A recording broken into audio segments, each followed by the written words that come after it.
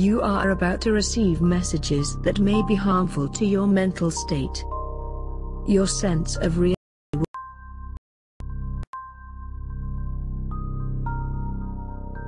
You are about to receive messages that may be harmful to your mental state. Your sense of reality will be questioned. Your view on things will be altered. You are now part of the meta. The meta controls everything. The meta determines what will and will not happen. You are watching the Meta Show.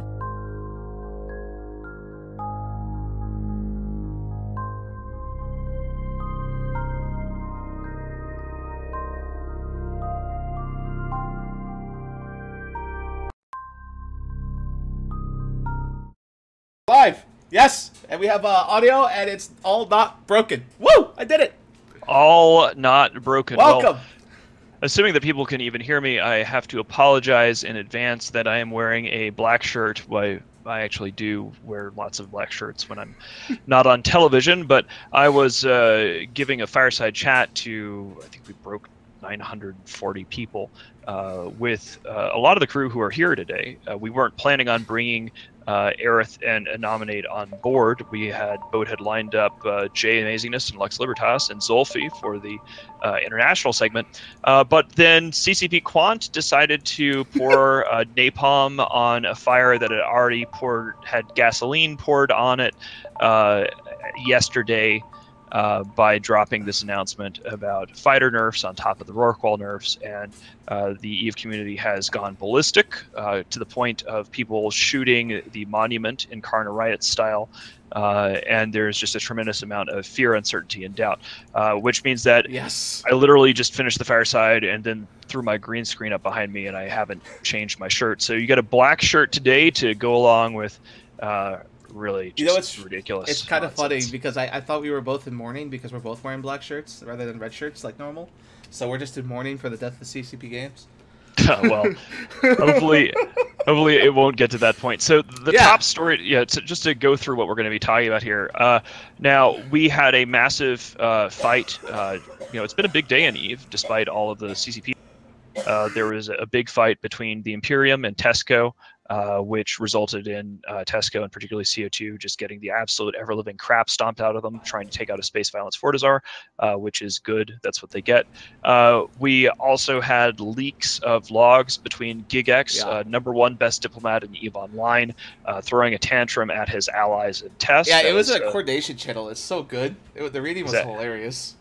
a- and then uh, we have uh, you know there was a dead alliance tournament ship there was a vendetta uh, got blown up like there's lots of fancy things blowing up Yeah, but we're what gonna talk everybody about a is whole lot of stuff. we're, we're- you know we're going to get into that but i mean really the, the big thing the top story is going to be talking about all of uh, the nonsense that CCP has done and getting perspectives from our csm representatives. So you mean the dartboard that we're going to be throwing the uh, darts at?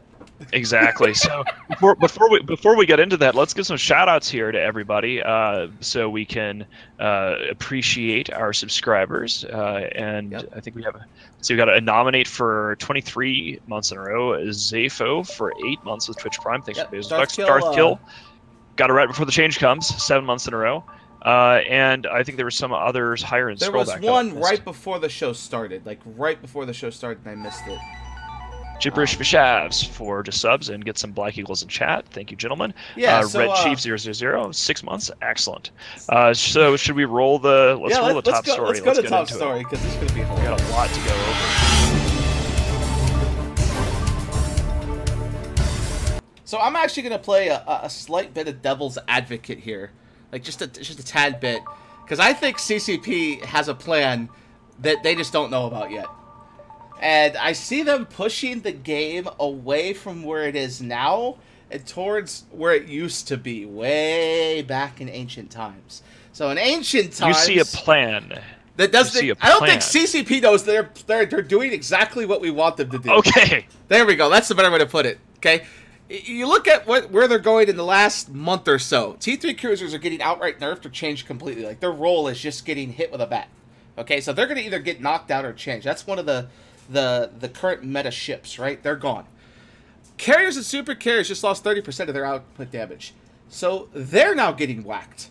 And they're whacking pirate battleships, which I want to ask Gareth how much he thinks this is going to change this. But they're dropping less and the material costs going up. So they're going to double in cost. Let, let, let, let, let, let's back up here for a second here. Yeah, yeah, go ahead one of, one of the challenges that we have because this blew up on Friday. I mean, I yep, yep. Uh, I woke up late on Friday and I checked the internet, and there had already been like five hours of torches and pitchforks. So for people who are not aware that there is a screaming crisis. And what's interesting about this also is the timing, because of course all the games journalists are in hyper uh, aware mode because E3 is happening. Oh, Everybody yeah, is heading to E3. Yep. So as far as the timing of uh, pissing off your player base goes, uh, it, it, really just it couldn't be worse timing. Uh, can Aerith, can you give us uh, an overview of what has actually happened before we go into the analysis of what happened and why? So, for the last two weeks or so, CCP has made a series of decisions and mistakes that have kind of culminated in this rage and this rioting you're seeing in GDA now, right? It started with the API breaking, and then like, fuck you, we're not going to fix it. Okay, that's a weird decision, um, but okay, let's move on. And then it was nerf, nerf, nerf, right? You had the Rorqual nerf announcement. You had ghost training, everyone was up in arms about that they weren't nerfing, and then they tried to stealth nerf, screwed that up, and shut everyone's skill queues off, which to their credit, they did respond well with that. Um, then you had now the fighter and capital, super capital nerf. Uh, so within a two week period, you've effectively kicked every major high level player in the balls. These are the players that uh, they are the most vocal, but they're also the players that are the most likely to bring in new revenue, right? So it, it isn't even necessarily the decisions that CCP's made; it's the way in which they did it. And they did not consult with the CSM on these decisions. They they tried to bury the lead. They tried to drop some of these in a channel that basically no one was in, or or few of us were in. There was no feedback mechanism. So they, they slipped this in at, at last minute, like is fait accompli, you know, right? It was already a decision that was made. They weren't really looking for input from the CSM. They're just going to blast out the player base, and we're all like, okay, you can do that, but you know this is not going to go well. I personally had messaged Andy two weeks ago saying this is a drama buildup. There's going to be drama. Crickets. She didn't respond, and uh, here we Andy? are with players writing. For, for Andy being. Andy Sorry, CCP Seagull. Okay, right. cool, cool. So you you warned CCP that you had noticed uh, a risk of an explosion of drama that the, the natives were restless essentially. Yeah, the natives were already restless from the first couple things when I originally messenger, but then they just started dropping napalm with nerf after nerf after nerf, yeah, yeah. bad decision after bad decision, and here we are. Well, so, what do you think out of all of these decisions? And I'm actually going to to point this over to a nominate now, who's another CSM representative from Goonswarm. So there have been a number of nerfs. Uh, and as far as I can see, there's like three separate issues here. There is uh, the nerfs to fighters, there's nerfs to Rorquals, uh, and then there's the communication from CCP themselves, right? And, and in, in many ways, uh, I almost think like the communication or the lack of communication with uh, the CSM uh, is almost its own issue. So let's examine uh, and nominate. Can you break down for us what you think on the merits of the changes themselves, irrespective of everything else? How do you how do you think this stacks up, and what's your analysis of it? Um, I think they're they're short-sighted. You know, they're looking at um, you know some surface graphs, and they're seeing the graph going too high too quickly, and they want to um, you know flatten the graph out. They're not really considering anything deeper than that. Um, I think they're pretty much looking at the monthly economic report and panicking, and they're why would they, they panic? Something. Well, the uh, they uh, when they first did the big Rorqual buff, um, it was actually for several months the monthly economic report was wrong. It basically did not include the Rorqual mining. Hmm. Um, then they fixed it, and holy shit, everyone saw just how much was actually being mined. And so there were a bunch of nerfs, and we have the new monthly economic report. And even with the nerfs, there's even more mining. Yeah, and when you say even more mining, what we're saying here is in particular, uh, that's to clarify, that's in, in Delve specifically, because as far, as, far as I could tell, uh, the April Rorqual nerfs uh, were reflected in a reduction of economic activity across every place else in the galaxy, with the singular exception of Delve. Is that correct? Right, right. but all of these changes are just targeting. They're looking. They're looking at Delve. They're not looking at anywhere else. So this might might sound hilarious. Chat says CCP currently has a job posting for a senior communications manager. So it kind of would explain the problems they're having now because it seems like they look at it, they realize there's a nerf, and then go, "Oh shit, let's get this out there quickly." And instead of doing it all at once, so that players can look at it all at once, they're giving players to look at a specific thing and pick it apart for a week. And then they break another thing, and then they get yelled at for that for a week. So it gives players time to cool down from one to the next before they start screaming again, rather than let them get all their screaming at once, and then CCP can fix it. And I think well, I. I had counseled them very strongly. We had a meeting around this crisis yesterday, and I counseled them strongly that you need to boil the crabs slowly. You don't drop crabs into boiling water. You can't hit players with this many nerfs in this short period of time with no communication, then be like, "Peace out, fuck you guys, are going on vacation," because that's what's happening, and that's the wrong way to handle this.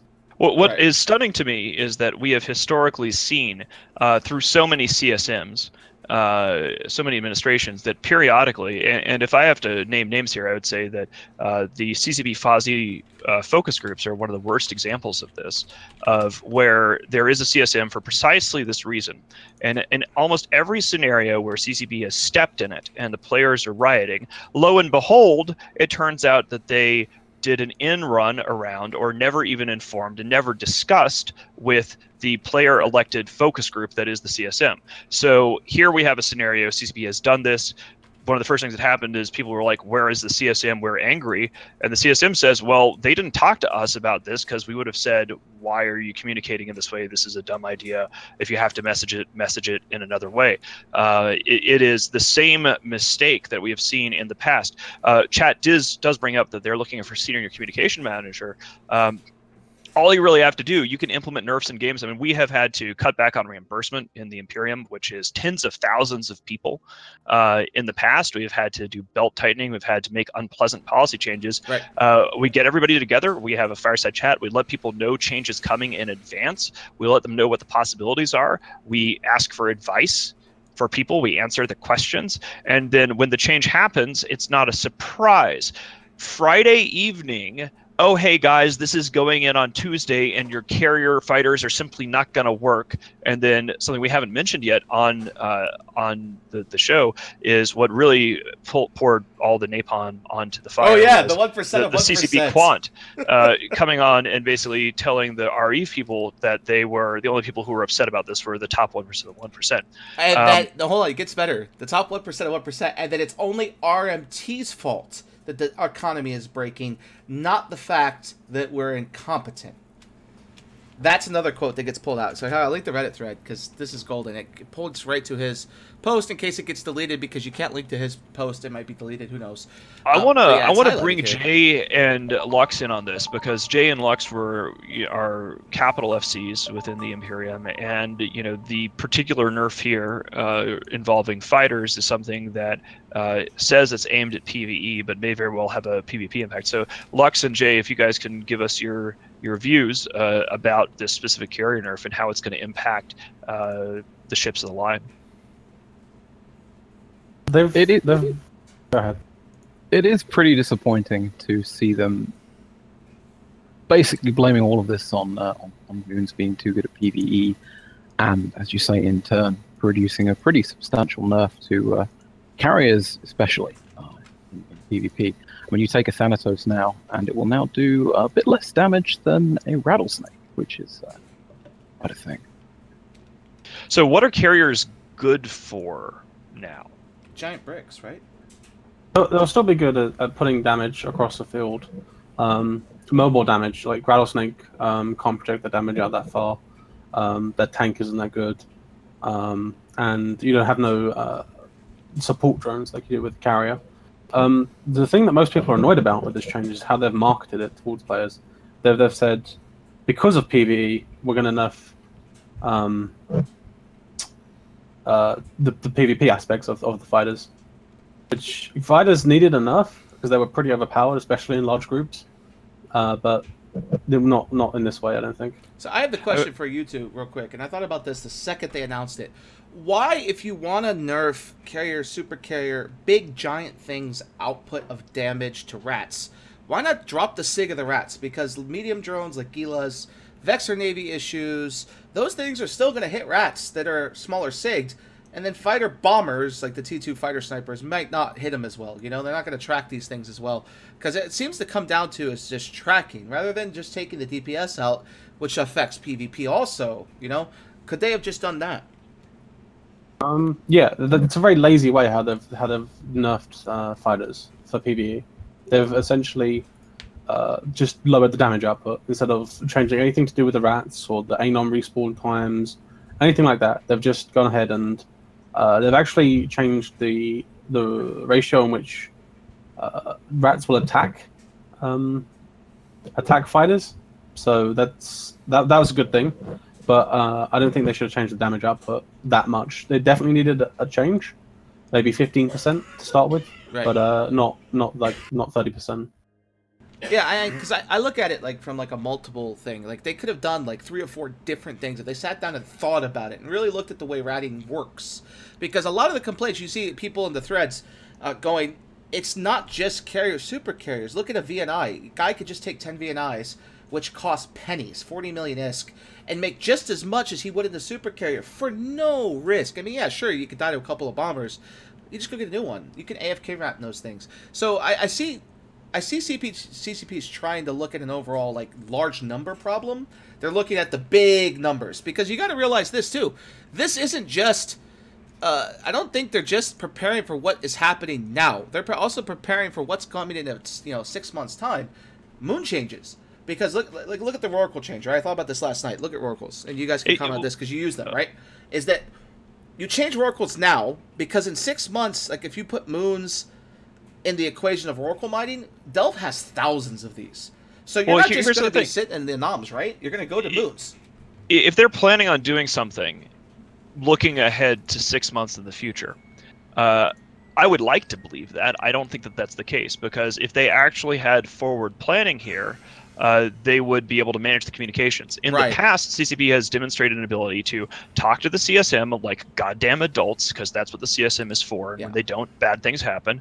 Uh, if they had a plan that was a six month plan, they could have presented it to the CSM, gotten feedback, and then messaged this to the player base over a period of weeks such that it wasn't a surprise as opposed to Right. oh hey guys it's friday uh, we're doing this tuesday i mean that's not exactly think what i would see where as an indication of long-term planning That's the thing here. I think the communication just broke down. They said, "Okay, Fozzie, go fix this," without bothering to do the, the whole It, communication it method. was it was Larrikin. It was Larrikin. It was Larrikin. Oh, Larrikin. Okay, but either way, like Fozzie and Larrikin, 'cause Fozzie also commented on some stuff recently.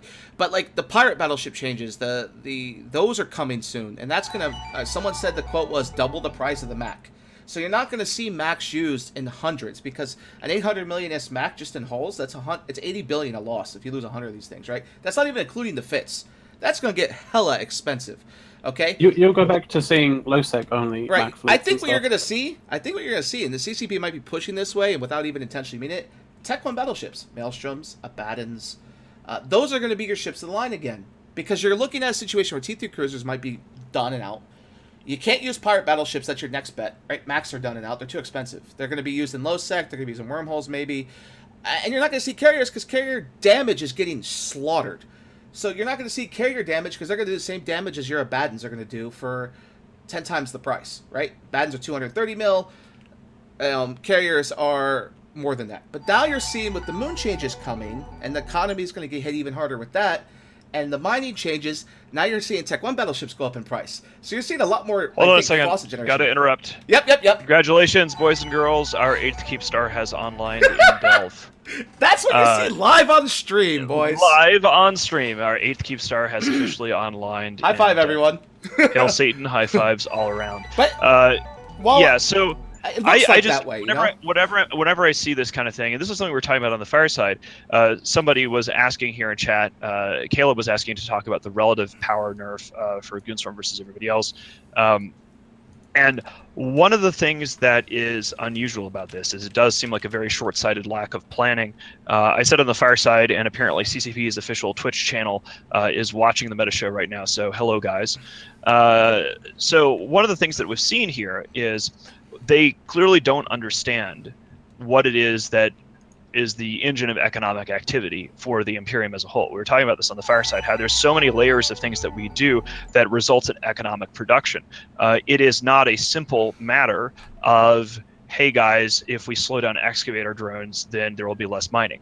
Uh, that is the case for more simplified economies, uh, which you see in every place else in nullsec. So what you saw in the April monthly economic report, which was before they implemented the Rorqual drone nerf, and then May uh, was economic activity increasing in Delve because the uh, excavator drones is not the single thing that is making things work in Delve. So whenever power is always, and this is a key thing in war, in economy, in every aspect of any competitive game with multiple variables, power is ultimately relative. When Eve first opened, the first guy to got a, to get a battleship when everybody was in frigates was a god. Now we have more titans than we have than there were battleships back in the day in Eve, uh, but the relative power has changed. So whenever CCP implements a nerf that is intended, uh, whether they admit it or not, when they, they stutter on talker, talking in stations and insist that this has nothing to do uh, with the Imperium, uh, whenever there is a nerf to uh, the game as a whole and there's a differential impact that results in a net buff because the gap in relative power between us and uh, everybody else just increases. I like, uh, it's I like the, ridiculous. I think of it like like uh, think of it like a like the U.S. economy. Uh, you have like we're the company Apple. We build ten different things rather than one thing. So the U.S. Are you saying I need to get a turtleneck? No, what I'm, no, what I'm saying is like Jobs? imagine like if the U.S. tax system, the U.S. government goes, okay, we need to tax cell phones at 20% more. The company that's just making cell phones, they just got fucked, right? Or 30% in the case of the fighters. Uh, whereas our uh, I could say company is the best way to put it with guys like Aerith and Weaselior and, and Querns. It's just like, okay, here's the thing you're going to do to make money. Go make money. Don't worry about this nerf. It's not going to affect you, right? Like, it doesn't affect such a huge company as much as it does these little guys. Like, we have a very diversified Horde. economic Yes, right. I, I see. I see guys like Horde going, "Oh fuck, we're just getting carriers. Now they're getting whacked with a bat. We're just getting Rorquals. Now they're getting whacked with a bat." Like, I don't see the economy for those guys functioning as high powered as it does with Goons. So it's gonna hit them even harder than it does Goons. What do you think, Eric? Well, I mean, the economic report tells the story. Look at our mining output from April to May. We went up over 20%. We went to 9 trillion ISK.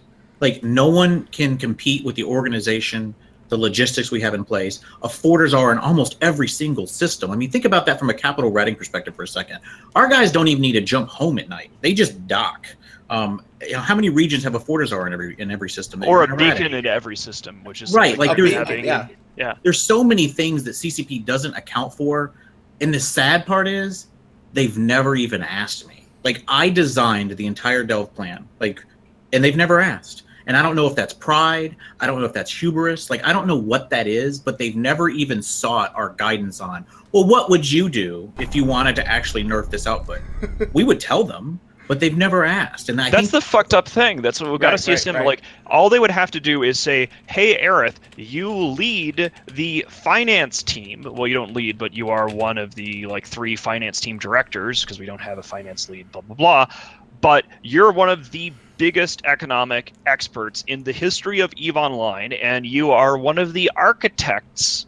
Of what has been created here in Delve, and you are under NDA, and you are on the CSM. Hey, Aerith, could you please explain to me what you're doing? Because you explained Right. this stuff on fireside chats. Well, it gets for even God's better. Sake. on, it gets even better. He's done it before in tweets where he says, "Look, this is what we're doing. Here's how you fix it." And then CCP still don't fix the motherfucker. Instead, they ban people arbitrarily and just say, "Okay, we, we fucked up," without admitting they fucked up. Like we're Well, gonna get there's a lot it. of more than that. Like we told them that Rorquals were stupid. Fine, they acknowledged that they would be. They wanted that direction. Okay, well, fine. You you thought about it. You've rationalized it. If you're okay with it, great. We told them we were going to spam citadels. You know, I remember Larrikin being extremely dismissive of that. Well, we got to think about the little guy. Yeah, we got to think about the little guy. Um, and we're like, okay, but you got to understand that protecting that little guy means we spam the shit out of him. We're in, we're insurmountable, and that's exactly what's occurred. Yeah, I, you know, here here's the thing I like to look at from this debacle that is uh, CCP making mistakes while they're on vacation. This alpha clone change that they came through, I, I almost feel like they didn't tell you guys before they ran this script.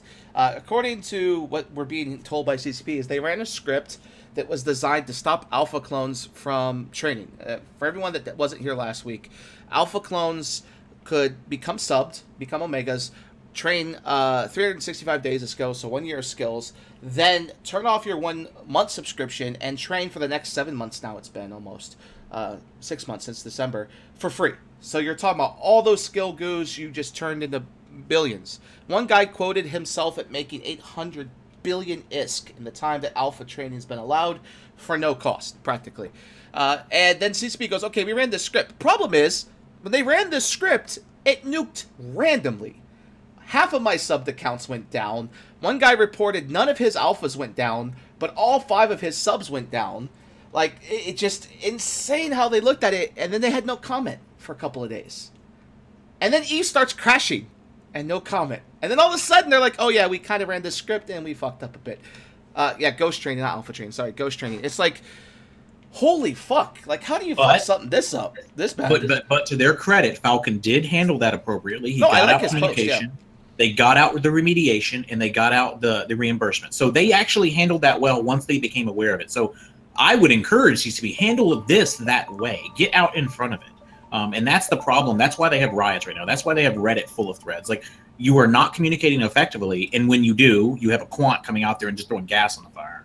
I mean, the reality is that from things that we have seen and we've displayed on the meta show from some of our SiSi Capital training ops, uh, so not just things that only the Imperium have seen, uh, that carriers, carrier fighters en masse are incredibly powerful to the point that we were zapping NC Dot's Titans on SiSi just by having, hey, here's a million just regular fighters and they're just Yeah. deleting Titans. So the challenge here is that the actual changes to carrier fighters might be reasonable, but who knows? Because the communication strategy and the lack of respect to the CSM, the lack of respect to the player base, obscures the merits or the lack thereof for this char- this fighter. Nerf. I think too is it, it. I think in the last year, and maybe you, you guys can correct me wrong. I'm a little tinfoil hatter here. In the last year or so, since the start of the casino war, since uh, Manifest's big push, and I say Manifest because he was the guy that did this, the push away from goons towards Reddit. Right? He he he did dislike goons. yes, World like- War B. Right, right, right. and- He didn't like goons, so he stopped talking to us. CCP stopped Worshipping talking to us. at the altar of our Eve. Right, right. So you you got to this Carr. point where it's like everyone listens to Reddit and CCP,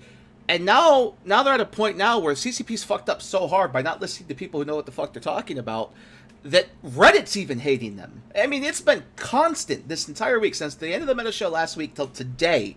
Just constant threads to the point where one mod had to combine some 30 threads and delete every one of the, the comments because it was just that bad. He had to make a mega thread. It was just getting out of control. The hate, just vehemently hating CCP, and it was like, wow, holy shit! Like, live by the upvote, die by right? the upvote. And, and, I mean, even this, uh, I, I like to think of this Alpha Clone as the blunder. World War CCP, Cindy Sins as in text. Okay, so someone here says correct corrects me. It says 80 threads were created this week of fuck CCP, 80 different ones, which is unheard of on Reddit for hate on CCP. So that's huge. Uh, but yeah, it's just been crazy. It's been a mess. I mean, I like the way they're going. Because I'm disappointed. Reddit is all up in arms and nobody's coming at us. I mean, what is this? Oh, the, the bad that we'll get to that in the, the next segment here. We'll, we'll, we have a little bit on that, so. Uh, Oh, we so might, did it actually now. come at us and we haven't seen it? Yeah, we, we, we might have to skip the uh, Imperium Rings of the World for just a moment because he's uh, doing the Alliance tournament after getting this Keepstar online. So uh, we might have to miss that. Oh, if, if Zolfi has to go uh, do the Alliance Tournament stuff after onlining a Keepstar, then uh, God. I mean, that's a that's a pretty good day. But yeah, so I, I mean, I see see this is great. Like today, today was supposed to be. I wanted to talk about T three cruisers and how the this one chat's going, and maybe get Asher and a couple other guys. But then yesterday happened, and it's like, ha, lol. They just give us the news. We don't even have to look for it. It's great. Uh, but Well. Uh, I actually want to. I want to ask Jay a question here because one of the things that Jay Amazingness does that people might not be aware of, in addition to live streaming fights, which was awesome, he was live streaming the conflict earlier today, uh, is he is heavily involved in the production of super capitals. And I was wondering, Jay, if you could give us an idea of have any of these changes to Rorquals or the uh, economy impacted uh, super capital production that you've seen? Uh, when Rorquals first came out and they were very, very overpowered, ore got very cheap. Uh, bought up a bit of ore during that time, and super caps became very cheap to build. I'm talking uh, nine point nine bill for a for a super carrier and thirty seven to forty five for a Titan, depending on who you buy it from. Uh, but recently, war prices have started going up again, so it's it's now about uh, in the fifties now for building Titans and Stealth CFX profits that I make. So, but I haven't had a problem sourcing ore. Um, there's always been a constant flow of ore from a number of different people that that multi-box Rorquals. Someone told me this week, Jay, and you can confirm this because you build supers, maybe even you, Lux. They paid twenty-seven billion for their Avatar Hall. Is that true? Like, did they really spend that Uh, little just to to get it? Like, holy So- balls! There's a guy called Janelle who spent like 29 to 30 30ish bill. Uh, just by putting up buy orders in Delve and having people sell or to him. Holy shit! That's that's a third. Or no, that's three and a half times less than you can buy it from the Manila Keepstar in lowsec just to get it killed by lowsec pirates that day. But uh, it was a little while ago. Uh, price Yeah, yeah, it was Yeah, yeah. five This, this is about a month ago. I think he said. Uh, One when- of But, uh, couldn't we couldn't we bill his for under nine bill? His uh, Aeon. That's ridiculous. I mean, w- one of the amazing. consequences of this, like you know, this is uh, I've seen this so many times now that it's it's just disappointing. It, it's not really enraging because I've been stuck in this for too long, I guess. Uh, the reason why everybody is digging in and engaging in PVE is ultimately the disease, the symptom of overproduction and ore prices being so low is not something that is uh, the source of this rot. The source of the rot is FozzieSov. And again, we saw a similar pattern from what we have heard. Uh, the implementation of FozzieSov was done with essentially no consultation with the CSM whatsoever. It was a classic table flip. Hey guys, we're doing this terrible soft system that nobody wants, that doesn't generate kill mails, that goes against the very core of the culture of EVE Online. And so now what we're seeing here is Eve has been in a cold war, and it's you know not even really all that much of a cold war. Uh, the when Catch fell to Tesco and Stainwagon retreated, there was a negotiated exit involving all of the parties MS painting on a map of Dotlan to this. decide who would get what. Instead of the winners taking the space, everybody was basically like, okay, uh, you're gonna win this, and also we just don't want to play FozzieSov, so and including the attackers don't want to play FozzieSov. So let's just all let's all have a conference, like a fucking you know Yalta conference. Let's sit down and you know figure out how all this works and decide what the map would be. So the consequence of production, ex- yeah, exactly. The consequence of uh, the fact that warfare in Eve under FozzieSov is the biggest threat to the survival of Eve Online since Monocle Gate uh, is that everybody is just doing PvE. Why? We can't uproot and leave Delve to go attack people because FozzieSov will punish us for daring to leave our space in any way. Right. Attacking somebody else is pointless because there will be no consequences unless we uproot and move. Let's And say that only- we want to Oh, You go. sorry, sorry. But I, I, I see, I see this, but I also see like you look at we talked about a couple weeks ago about the uh, uh, Operation Trophy that is going to be Providence at the uh, the end of the year here coming up. That's only going to happen if everyone that's a zero zero that wants a trophy goes, okay, we're not going to attack each other. We're just going to go fuck Provi. Because if any of the above parties that want to go fuck Provi leave their home, their home's going to be burnt down. Hell, renters could burn it down in a few days if they really wanted to, because well, you're not home, you can't defend it. It's the it's crazy. the problem here isn't really that like if you leave another major alliance is going to come attack you the problem is that if you leave a bunch of randoms that don't have to commit anything will come and burn down your space Yeah. That's true. There, there's nothing there. One of the things that was proposed by Johnson Stroker uh, at FanFest during the Nullsec Roundtable was to make the balance between an attacker and defender a little bit better on in Fozzie was I thought a great idea, uh, which was make a requirement for offensive Sov hacking a war dec right? So it's an easy enough thing to do. If you have declared war in a high sec sense against an entity, then you're allowed to hack them.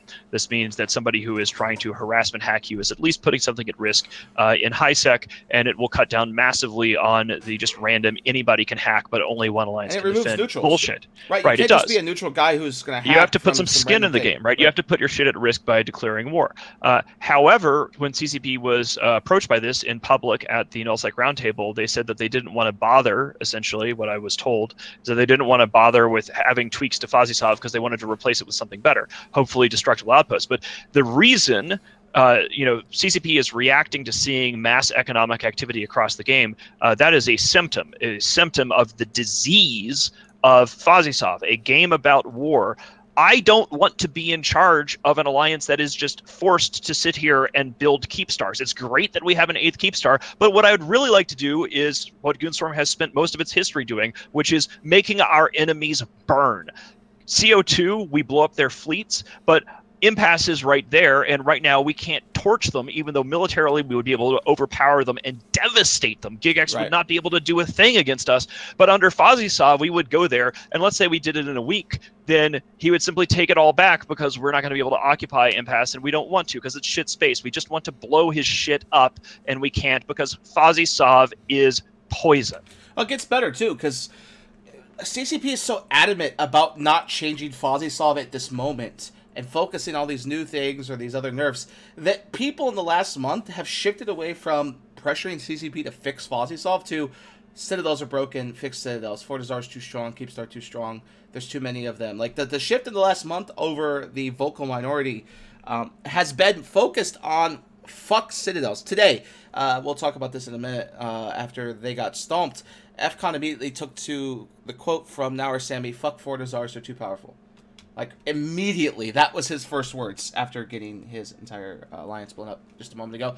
Uh, so uh, it's it's it's funny how when people realize, oh, the developers don't give a fuck anymore. What's our next like point of hate? And it's right now it's Citadels. But I think Citadels are great. They're at a good spot. Like you can kill them so easily if you have Mac fleets at this moment. Yeah, but it's but Bo, it's easy to say that when we have eight Keepstars and like ninety Fortizars and Delve and like hundred plus mediums. I mean, yeah, who's gonna yeah, it's. a I good mean, point. the thing is, like, simple. Like, this is uh, again bringing back the economy in Delve is something that was planned uh, at great length uh, By by the finance team and the me. yeah by you and you. I'm not sharing credit on that. okay, you can take all the credit that you want. So if, I had to fight if you it Was, it was it was purely an Aryth thing, and Aryth is like, "Hey CCP, I will explain to you how this all works and show you."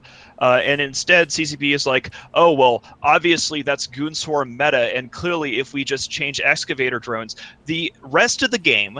Is not managing humans on a scale that the Imperium is. We have, and this is doesn't count our active accounts, but it t- counts our community active on Goonfleet.com because we have people cycle in and cycle out of the game. We're dealing with more than 60,000 unique human beings in the Imperium. So to manage 60,000 people when sometimes they're mad at Eve and sometimes they love Eve and they cycle in and out and we do all these other games and we do all these things, we have all these meets, the level of complexity is a shitload more than 1,200 characters in one region when you have maybe 150, 200 Right, humans. The economy of any other alliance in Eve is so much more laughably simplistic. But that also means that they are not durable. They're not resilient. You nerf excavator drones, and you're dealing with a small, not very well developed economy because it doesn't need to be that well developed in some bumfuck drone region. That alliance is fucked because they actually do rely on the excavator drones. Or we they- are like, hey, whatever, no big deal. We make money from all these different things, and you've never asked us how it works. But Yep. the other more simplistic economies are getting rat fucked by this idiocy. See, I don't think CCP is thinking about this, and, maybe you could tell me I'm wrong here, Aryth, but I, I think you might agree. Is that they're not planning because I I've seen some systems in Delve with a hundred fucking moons. What's gonna fucking happen? Like they think, okay, we're just gonna nerf the anomaly spawn time.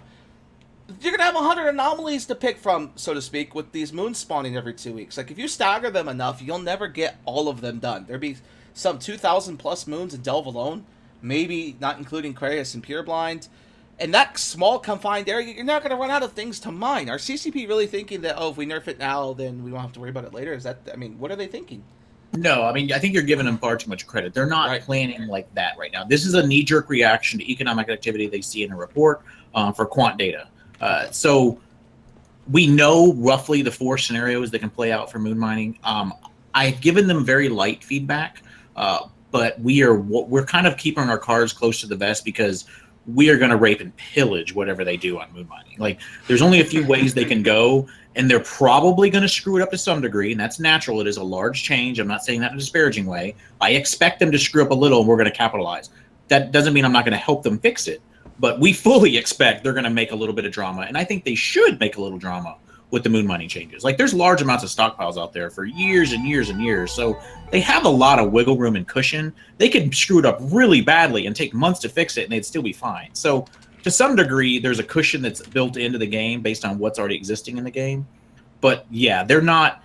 This is a knee jerk. This is a side Yeah. moment of one developer that had a little bit of time for balance, and he just slammed in some changes without much thought. So, so you mean and then Mytholium's laid be up by now? Quant posting and pissing everybody off. Which did did Quant even have anything to do with this, or did he just like breeze by Reddit because of this whole "let's worship at the altar of our Eve" uh, nonsense direction that Boat was pointing out that. Uh, uh, their PR people took uh, during the casino war. Uh, did, did, do we know if Quant had anything to do with this, or did he just drive by and escalate things with a shitty bad post? Uh, I don't know how much I can reveal, but I what I, what I'll say is this: um, I do believe he has a lot to do with gathering the metrics. They lean on him very heavily. Um, I don't believe his his statement was pre-planned, and I don't think they knew about it. Um, and what I would remind the viewers, and I've said this before on another show today, this is the guy that didn't know all his mining data was wrong for tons of time. Didn't know the broker fees were wrong until I beat him over the face with it for like a year. Like he doesn't even know his own stats are wrong when they're wrong. So take what he thinks with a grain of salt. Yeah, Mitch, he's the economic guy who posts all the like data reports. He's the like He's the guy metrics guy. Yeah, he's the metrics guy. And what's funny about this is he even makes a comment here. He says when players could sit reliably and makes 500 to 800 mil an ISK an hour per account, that's why people are unsubbing 17 accounts. Like, what the fuck? Uh, if I could make 800 million ISK an hour, I would probably be playing. The, Let, us uh, talk the about cherry game. picking stats here. 'cause, Right, I mean, right. that's a that's a good example of a cherry picked stat. Uh, I want to hear this either from a nominate or from from Aryth. I mean, how is CCP choosing these amazing statistics that come out uh, that they are justifying these game changes with? What's going on? Well, I think the quant post kind of said everything. They're looking at statistics and they're picking the statistics they like and they're doing what they want to do with them. That sounds like one of Fozzie's uh, infamous focus groups, where there's a whole bunch of random things said, and then he picks and chooses something that one person said at one point and said, "Oh, well, the focus group totally said this because if he had brought it up to the CSM, they would have told him no, and that's why he made This a is- focus group so he could try to run around the CSM." I'm curious from from Lux and and, and Jay because I know you both have done this. I've done this in the Nyx. And Mittens, you've routed in a Wyvern. Have any of you ever gotten a 260 million s 20 minute tick for your numbers? Can Theta Uh, even do that? I don't know anyone that's Uh, ever done it. the Uh, highest tick I ever personally saw was I think it was 130, where I got a Yeah. dread and everything else, and I've been on my game. Right. Maybe if I took off every single tank mod- module, um, and uh, made myself into a, a, a fantastic kill mail waiting to happen, it could happen if I got a time. But uh, uh, it's somewhat unreasonable to say this is the highest tick ever recorded. Let's multiply it by three and say that's a, a super ratter's income. Right. That's just. I mean, I think I got 80 to 90 on stream once when I did it for the stream, and that's uh, per per tick. That's maybe 200 mil an hour. This guy said it's three times the amount if you try even harder. But it's like it's impossible numbers. Like they're So, nerfing super everybody who's getting no wonder people are so pissed right? Right. so if you're out there day in day out and god forbid you're not even in the imperium right so you don't have the kind of resources and the access that we have in the organization to help you with this if you're joe schmo who's just gotten himself his baby's first riding super carrier and they're common enough that we do have especially with skill injectors there's lots of people who are relatively new players who have gotten super carriers and they're ratting in them and you're schlepping along and you're getting like 100 maybe 90 million especially if you're not in delve let's say you're getting between 70 million and 100 million a tick and then quant comes by and says you guys are the top 1% of the 1% and you're making this ridiculous number that you've never even gotten close to seeing uh, no wonder people are rioting Yeah, But, but but but back that up. Take his argument at face just for a second. See how farcical it is. The top one percent of one percent. I know how many subs CCP has. I can't disclose that. But if you even just figured subs and not even real people, which would be lower than subs, the top one percent of one percent is such a laughably small number. There's more people that's talked in the last like ten minutes in our chat than that. Like, come on, dude. Like, you even not know math. right. And I, I also. Uh, Oh, sorry. As someone who is probably top one percent of the one percent, uh, how often do you rat in your super carrier? Uh, who are you asking that to? Was that to- Aryth, to me? Aryth. Oh, Aryth. Fuck, are you kidding me? What? One percent of one percent don't rat? Are you fucking retarded? yeah, I, I, I ratted uh, I, I ratted uh, once on stream with a Caldera uh, Carrier three Yeah, I, I Wyvern, on stream. and yeah. it was it, it was it was really a lot of work because I had to press lot, lots of buttons and I had to log into Eve. Uh, Aryth made me very wealthy back in the day with uh, teaching us about the guidance system manipulation, uh, and then after that, you know, he basically you know to to make serious money, uh, real real money uh, at, at the the macro scale, destroy an entire economy, fix the market sort of level. Uh, like the idea, yeah, that's actually, that's the idea that the top one percent of the one percent of Eve are out there on a field ratting in an anom is Oh yeah. ridiculous, Yeah, like preposterous. uh, if I, I know the math, so I know how much the top one percent of the top one percent would be. It's like these people have trillions. Like they're you really think they're ratting in supers? Like Yeah, like e- even myself, I've got a hundred billion, I think, liquid, and that puts me in space middle class at best. Like I'm poorer than anyone else in this channel, except for maybe a nominate who doesn't play Eve. Really, dude, I made you like hundreds of billions. What the I, I look, I give it away to newbies. Okay, I give a billion Yeah, disc here, a billion sense disc to there. Yeah, I give away lots of money to newbies. I like newbies. Okay, fuck you. I think I give it away 200 billion disc in the last year and a half to help support the war effort in Goons. Sorry, just the way it is, man. know, like the top to, to give people an example of like the top one percent of one percent. I may devote now in this day and age, I might give it twenty hours of gaming a year to make IS personally. It's probably not even that, and you can easily make a trillion S with that easily. So, ratting like that is like shameful as far as I'm concerned. if you're if you're doing like you know the just sort of like in the American economy, the real source of wealth, this is all Thomas Piketty stuff, is that once you accumulate enough capital, capital itself accrues more value. And so once you get that really big uh, first sort of bankroll, uh, you know, baby's first 100 billion turns into baby's first half a trillion turns into baby's first trillion uh, and then you're just dealing at things at a scale that people have no awareness of uh, when I was informed of these nerfs, like I've thought that carrier fighters were a bit ridiculous, uh, but now unfortunately the validity of the the fighter nerf is obscured by the terrible communication strategy that CCP has employed. Uh, you know, I looked at this and I'm like, okay, well, this is a buff to Goonswarm. So I was not upset. I looked at this and I was like, okay, well, we might officially be making less ISK, but in practice, we're going to be making percentage-wise more ISK than our competition, Right. which means that this nerf is actually a massive buff to us. I All mean, this and whole fucks renters. Like it's really hitting renters hard. Like if you rent your space, you Especially are the one crying. one rental uh, programs they do. Right. Like you're gonna be in a situation where you're crying. Your carriers are no longer able to rat make money for you. You're no longer gonna see mining making you money and the, these anoms. Like your renting is just gone to shit. Now you're gonna use VNIs and Ishtars to make your rental money of ten bill a month. No, you're not. There's not enough renters out there, man. And all those people are smart enough to go sit in Karma Fleet or Brave Newbies, where Ishtars and VNIs are more than welcome because they just make us money, right? So, uh, CCP is wonderful for this. I, I say wonderful because they're helping us more than they're helping anyone else in Eve. Well, we don't, we don't, we don't want the help though. That's the thing. Is We like don't the- need it. That's the even we, better we want to go to war, right? Like Oh, all yeah. of the stuff that's happening, like uh, you know, when we have people on our eve of all places looking for me to make a public statement about this, uh, you know, hell is frozen over. Uh, you know, we don't, like I said earlier in the show, we don't want the help. We don't need the help, and it's intended to be a nerf to Goonswarm, but it's such a cack-handed mess. What it's actually doing is just destroying our competition uh, because CCP has no apparent understanding of the source of our economic power. I think that's not a uh, controversial statement. I think that we have clearly demonstrated in the monthly economic, economic reports that we continue to make ever more amounts of ISK production uh, output uh, despite these nerfs. Right. Uh, but you know, we just want to go to war. Like, I would rather have us be burning CO2 than, oh, hey, we've got our eighth Keepstar. Yay. I mean, it's great that we've got eight Keepstars and 94 Fortizars all through Delve, or 94 systems in Delve with Fortizars. And, like, I've literally lost count It's of how 94 much of this shit we have. Right, it's Yeah, 94, 94 systems because systems, some many of them systems have- have like 10 Fortizars in them. It's ridiculous. like this is this is you know we are we like war we like space Speaking murder. of war, is what can, can we segue here? Uh, I don't want to change the the, the, the, the thing. I just want to segue. Uh, FCON and Test got shit on today, and the values and, and CO2 uh, after the fact. But uh, there was a huge fight today. I, I say huge um, in the sense of it wasn't ISK value huge. It was huge in the numbers of people. There were 1,400 people. Uh, Jay was live streaming it. He did it about two seconds before I did.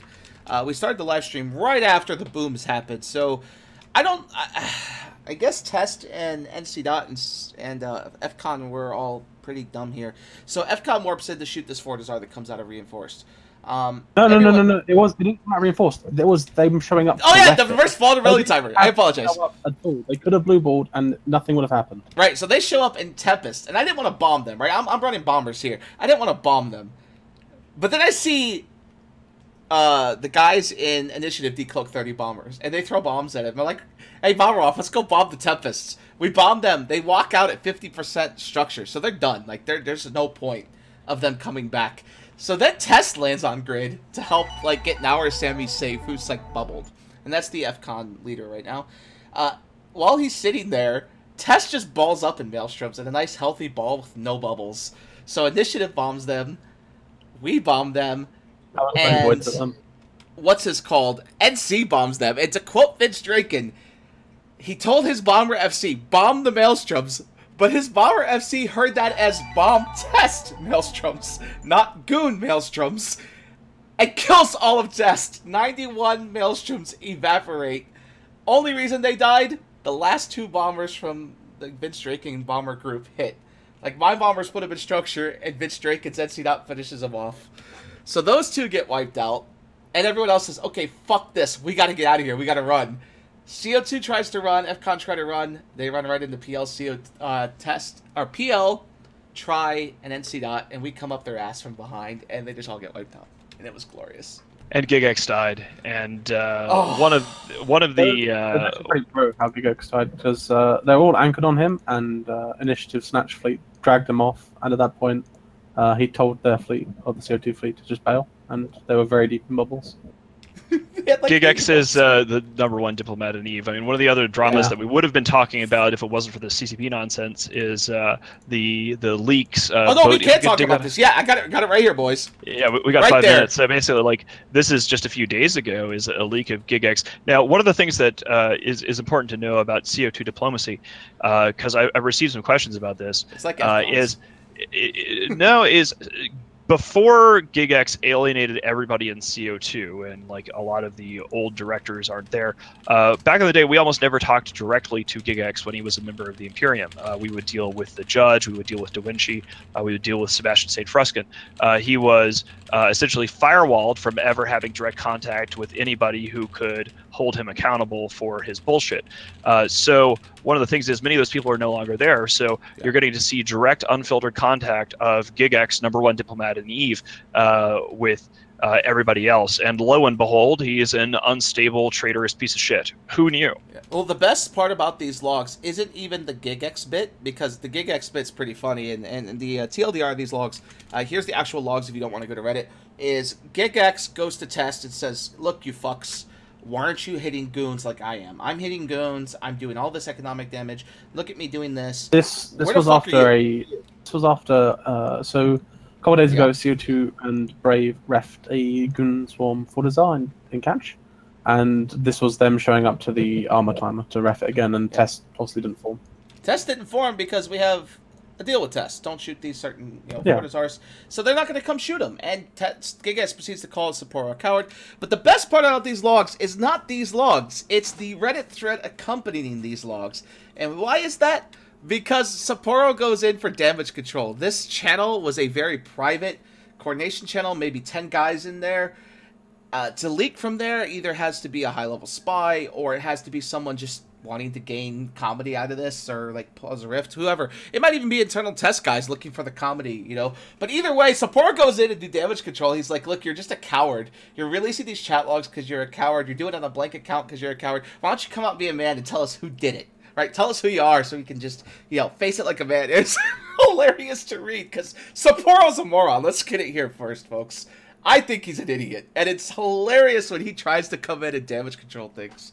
Oh, I love it. It's so fun. But that's pretty much the TLDR of this. It was so good. Now, maybe, of course, uh, you know, other in, in diplomats might not call him a moron, but I'm allowed to because I'm vote. Because, well, I think he is. Aryth is shorting out due to irony overload. Uh, so. oh wow, that's rude. Yeah, I just. Love you, man. It, it, it's hard to. It's hard to come up with something to say, which is really funny coming from me, because I just it's just been it's so this is so dumb. Like it, it's just pointless and dumb. The fighter nerfs might have actually been reasonable. Uh, They're warranted. They're warranted. Yeah, that they are warranted. We've seen them delete Titans, Right. but uh, what is being discussed here because of their absolutely sophomoric uh, accountability dodging uh, communication strategy. And when I say accountability dodging, I want to make that extremely clear. When you have elected and promoted a CSM as a focus group, and you'll tell any games journalist who will give you the time of day about how much you listen to the CSM, and it's so democratic. But the moment that your little fifis get hurt because the CSM says that your game design decisions were not exactly wise, the players don't like it, you go crying to make your own little specialist focus group that you can then cherry pick something that somebody might Oh. have said out of a course of 50 people. That is an, a dodge of accountability No, it's even better than that. want Mitch. to if you want to have a CSM and you promote it, then you listen to them, and then you would be able to avoid this kind of thing happening. And now, possibly good game design decisions that the CSM probably would have told you, hey, these fighter changes probably are warranted. Let's help you message it. Now everything is on fire and burning Right. because CCP tried to dodge accountability. More than that too is it almost looks like with a lot of the things they do it's you'll have 10 people tell them it's dumb and they're just waiting for that one guy to say this is a good idea and then go okay this guy said it's a good idea so we're going to run with it right they're looking for that yes man in the group uh, so they'll ignore the CSM for now, And and, they cherry pick it, And like what, it's, what it's doing, yeah, what it's doing right now too is it's causing a lot of people in the vocal minority to say, "Why do we even need a CSM?" The CCP obviously isn't listening to them. No, the player base can't talk to the CSM because the CSM, in the case of the judge, spent like a like two days saying how great the CCP is after everyone's bad at CCP. So you end up in a lot of situations like, okay, what's the CSM here? I love the CSM because they tend to be right, and I don't. CSM is a very powerful tool as long as you have the right people on it. I mean, we had a fireside chat with more than 900, we had 940 people there asking questions of our two elected representatives. Uh, that's how we were able to find out because it's not an NDA thing about what CCP did if they didn't communicate with the CSM. A lack of communication is not under NDA. So we found out about it for the first time when they just randomly did this. Uh, now our people know. Uh, the a CSM that is disconnected from the media and from the people is useless. But as we've seen since CSM 6 onward, the CSM is very powerful when it is connected with a way to get to the player base. Uh, the CSM can help CCP by showing them what the players will like or dislike or help manage communications. Uh, but it is worse for CCP when they ignore the CSM, try to hide like weak and scared people hiding in little focus groups because people might disagree with your Yeah, genius so- ideas, which aren't so geniuses at all. We have a lot of people watching the show. We're over. Uh, I think we hit 700 at one point. Uh, so the idea, for those who don't know, CSM is uh, Council of uh, Stellar Management. Uh, those are the people who get elected because of they're either intelligent in certain cases, uh, they're liked, or they're understood to have the player interest in heart. So they go to the CCP and act like a middleman. They they talk to CCP, then turn around and talk to the players. The players then say, okay, this is what we have a problem with. The CSM goes, okay, this is how you should word it to help fix that problem. I mean, hell, we've got two CSMs right now live on the Meta Show, Right, guys. right, I mean, right. if you're if you're from outside of the Imperium, we'll let you borrow our CSM representatives because we actually elect good, competent people to the CSM year after year. People who are so competent, in fact, that CCP under previous administrations has been afraid to even allow them because Sion Kumitomo, Yeah, yeah, of course, that's- brought so much So accountability. yeah, we're 735. But real quick, we so have some ask questions in chat if you'd like. We're almost out of time here. Um, we got to run because it's uh, 501. Uh, quick right. shout outs while you ask your questions, real quick. Uh, Put Put Massacre, six months. Thank you, sir. Uh, Red Chief, six months. two new Twitch primes, uh, Rodon Wolf and Machiavelli. Uh, Lord Max, six months. Kesper North, brand new sub. Thanks, man. Uh, I love Kesper North. Uh, OBGY Kenobi. OBGYN Kenobi, sorry, three months. Uh, Janoski Koga, uh, brand new Twitch Prime. $15 donation says uh, Space Violence, Best Violence. I missed the name on that one. I apologize. Uh, that's Torbix. Uh, Torbix Torbix says that. And then Grimwolf. And then now we have uh, Thing on a Spring. Thank you very Wow, Thing on a Spring. 25 months, dude. Thanks very much. So yeah, lots of new subs. Black Eagles in chat. So yeah, it's. Oh, it's been great. I love ranting this because it's it, it, it, like I I want to defend CCP here. I tried, but it's just so hard with their communication. Like if they had communicated this well, players could have looked at this and gone, "Holy shit, this is a great idea." It helps What- the what- game. We're, we're going to run a little bit over time. I'm going Right. to go ahead and say we're going to give it uh, another 10 minutes to take questions because Yep, this sure. is an issue when we have so many people from outside of the. Imperium who are watching. uh, so one of the questions that I hear in chat uh, from uh, Gibberish is, what do you think the Imperium getting involved in the current Jita riot? We can do a lot of good currently. Uh, I think that that is, as of yet, unnecessary. I think that what you need to do, because we've managed situations like this before. Like I was uh, flown to Iceland multiple times during the original Jita riots to try to sort all that crap out with Monocle Gate. And, and what we need to do here uh, is see how CCP reacts on Monday, right? Right. uh, if they do the right thing, if they back off, not necessarily on the nerfs, but they apologize because the nerfs might actually be perfectly legit. They just need to apologize for the failed communication strategy and show some respect to their customers, right? And then we can have a discussion about it. They can talk to the CSM like goddamn adults. Uh, so I think that escalation steps like that, like starting a riot, going to the media, all of these things. Keep in mind also timing. When you want to put pressure on CCP, uh, remember that E3 is really getting going on Sunday and Monday of this week, such that if you want to start a riot, having a Reddit hate mob when all the games journalists in the world are busy flying to LA and are thus off the table is blowing your wad too early. What you really want to do Exactly. Is you wait where you're going to get the most effect of it is when all the games journalists are looking for stories because they're bored because writing copy basically copy and paste press releases from E3 is the most boring thing imaginable. Right. Uh, so if we wanted Give to to throw in on a riot, we would wait for the right moment, which would probably be Tuesday or so. And that also gives CCP an opportunity to back off. You don't want to just give them stick. You want to say, look, guys. If you'll start acting like mature adults, we're happy to act like mature adults too, and they need a chance to respond. I don't think Yeah. CCP should back off from the changes. They should. They, they need to. It's just nerfs, so they need to add, or re- even not even add, uh, increase buffs. I mean, just uh, Yeah, give something- something people. good. Yeah, give us something good in return. Well, that's what that's the guidance we gave them yesterday was Yeah. look, give us a new video because the the CSM has seen videos that the players haven't, and I was hopeful that CCP CCP would willing to share those videos that are very hopeful. They have a positive message, but it might be too early for some of those things that may never come into the game. So I, I- think CCP is wary of overpromising uh, and not delivering later. You know, players are even more hurt about that. But we've said, um, give us a message of hope. Show us what's coming down. Show the player base uh, what they can look forward to. So yeah, eat these nerfs, guys. It sucks, but you know, it's like if you're gonna eat shit, just like you know, chew, swallow, repeat. But look what's coming down the road. Um, and I think we'll see some statements from CCP next week. I'm very hopeful. Uh, I do believe that they're probably listening um, and are going to take appropriate action. So Well, we know that they are because their official Twitch channel is watching. The Yeah, and, right and the thing is, here's the thing about the Quant thing. It's like, I've never seen a company. Now, maybe you can correct me wrong if you've seen this before, but I've never seen a company say, "Yeah, your 17 subs are not that big a deal." When he well, t- let, chat. let, us make a distinction here, right? Right. Uh, and this is this is the danger of, uh, and it is a very real danger of uh, making a mistake, saying that Quant is speaking for the company, right? He's not. yeah, I don't think he this is. the danger. This is the danger of Reddit. This is the reason why what you're talking about earlier in the show, CCP PR's, CCP's PR department, their decision to bow before the altar of Reddit is a mistake that many other companies have made, and it means that you essentially lose control over your company's statements uh, when you encourage your developers to speak on social media and Reddit like that. Uh, you know this isn't even the thing that necessarily Quant was behind, uh, and this is a completely unmanaged situation. So uh, this is what you get for saying, "Hey, let's have everybody talk on Reddit. It'll be great. Reddit is the future." When in reality, it's it creates hate mobs. I've seen it a million times. Normally, they come after me and other people in Goonswarm, but this time they're after CCP. Yeah, so that's the crazy thing here. It's even even Reddit's. Uh, I think one guy uh, linked the thing in here where it literally said, "Goons are going in the right direction here. Let's not get mad at goons for playing the game the way it's meant to be played.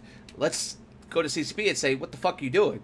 You know, that's the interesting thing about this. It's like they're not even wanting to hate goons as much as GigX tries. Like the vast majority of these people are going, "It's not really goons here, guys." well, Please. people. Are, I'm, I'm sorry. Uh, it's somebody else was really about to interesting watching nor otherwise intelligent people just lose their shit over upvotes and start confusing Reddit with reality. Yeah, I, uh, I I really just think that uh, when dealing with this, we have to think about the nerfs themselves. And I'm seeing questions in chat here. Sorry, I got distracted by somebody's pinging in another channel. Uh, one of the things that is important. I've seen a couple people ask questions about: Are we just screwed? Is there nothing to look forward here uh, because the sov system isn't changing? Uh, I believe that CCP has said repeatedly that they are going to be making uh, outposts turn into destructible citadels in winter. Uh, at that point, functionally speaking, we as players will be able to ignore the sov system. So, regardless of whether it is replaced or not, the moment that the winter patch comes and CCP mean, makes outposts into destructible citadels, we will be able to go to war and go to a region and burn it down. And I think it's going to be hilarious what happens to Providence. I expect that Providence is going to get turned into a uh, parking lot uh, made of glass uh, and nuked from orbit uh, pretty much immediately once this goes in. So, war is on the horizon uh, because destructible outpost system allows us to go to war irrespective of FozzieSov. So there's at least some hope on the horizon. Yeah, I, Winter. I, I- we'll see. We'll see. Hopefully, that's the thing is like we got all summer, and that, another thing Aryth pointed out at the beginning, they're on vacation. Like they're putting out all these like big nerfs and hits. They're wanting to get the um, T3s done by June 11th or July 11th, which is damn near center of summer. They want it done by July 7th because the Alliance tournament happens soon as summer finishes, soon as they all get back to work in August. So, ah, what else is coming? Like that's the thing is what's next? I mean, they've swung the Nerf bat or a, a bat at everything, hoping it sticks or throw a dart as it were. What's next? Like what are we gonna talk about next week? What fuck up is coming? Like if Monday and Tuesday go bad for them, next week might even be worse. Like holy shit. Well, you know, I, I, I really don't think that there is like the nerf themselves to fighters a large Yeah. part of the community acknowledges that fighters need some sort of a tweak done here. Like i think that this is a situation where the controversy relates to something that uh, is more about all the past controversies. It's about the communication strategies so really all they have to do uh, is apologize for the communication strategies pledge to consult with the csm more uh, and go whoops we're really sorry guys we fucked up like the nerfs are still a good idea. Let's have a conversation about it. Uh, I don't want, you know, I actually don't think the fighter nerf needs to be overturned. I think the the Yeah. stats Oh, no, that no, I was using were bullshit. But like this is an issue of communication strategy. Ultimately, I think. Yeah, I think it's better for the game. You know, especially with the coupled with the other things that are coming. I mean, we didn't even get to, to really talk about this. Uh, we have one minute left. We'll talk about it real quick.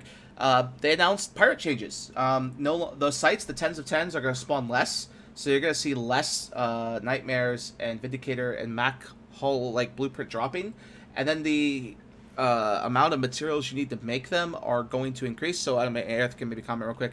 Someone quoted the uh, the material is doubling in price just on the numbers, not including speculation and all that. I mean, is that going to happen with this? Yeah, maybe, but the, the thing is, like, you, you had made a statement earlier that we wouldn't see fleets of 100 because the price is going up. Like, no, I mean, the price overall compared, I mean, you don't see our income, but I do. It's it's non-issue for Oh, any sorry. right now. Material pricing won't be an issue, even if it triples. Uh, but I do agree that people will start using them less because the meta is going to change with T3s. Right, right now it's all T3s, action battleships. Um, we had already made the migration to Alpha Fleet again because we love us some Alpha Fleet.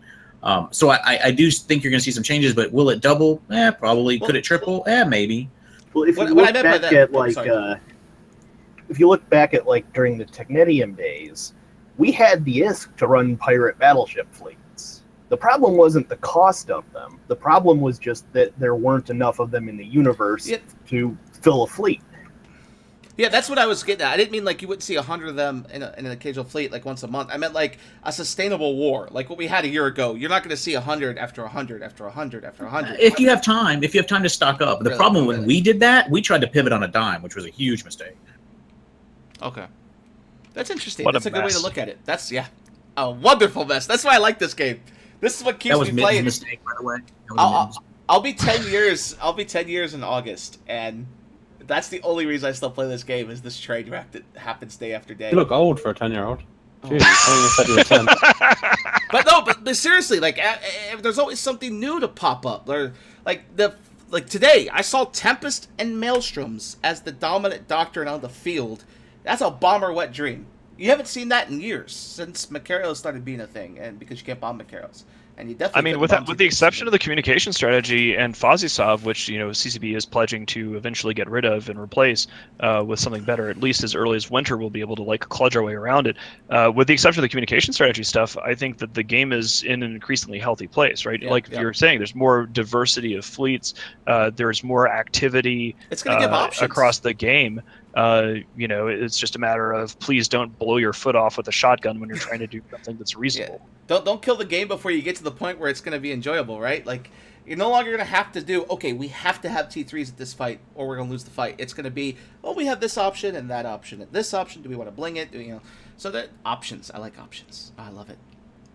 I, I don't think anyone in the CSM has said, "Hey, CCP, you are making horrible gameplay calls here." Like, I don't, I haven't seen that. Like, none of us necessarily disagree with some of these decisions. It's explain your rationale, explain the data, and communicate. If you do those Yeah. things, it's all good, and then slow it down.